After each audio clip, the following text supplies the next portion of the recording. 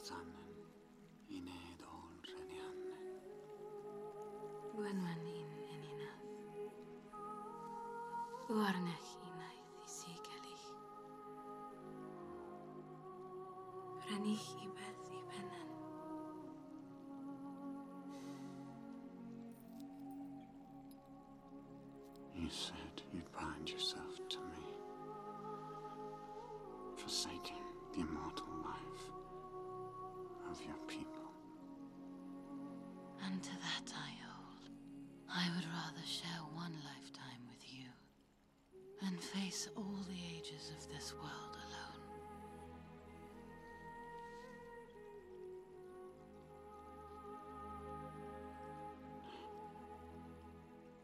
I choose a mortal life.